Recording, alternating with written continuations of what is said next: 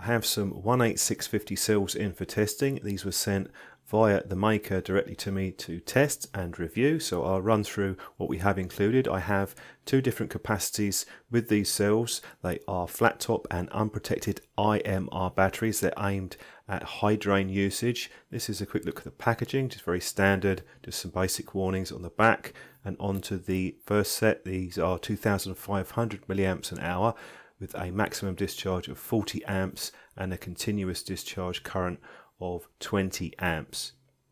It's not unusual to have slightly lower capacity cells with the higher amperage drain.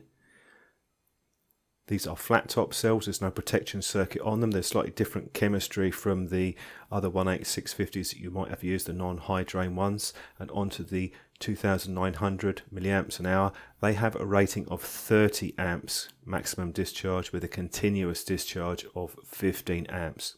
So you have higher capacity, but not quite as high drain. Length on these is 65 millimeters. They're pretty much the same, these cells. The unprotected IMR cells are pretty much the same length, and I'm comparing it to the LG battery, which I also reviewed. This is 3000 milliamps an hour as well, exactly the same size. And here's a protected cell that's also flat top. You can see the circuit on the negative terminal means that it's slightly longer.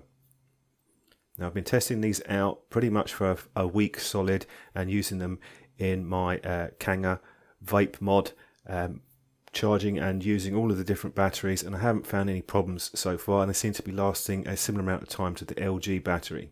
If you don't have a device which will accept the flat tops you can use a magnetic spacer. These are 5mm ones and just put it on the top.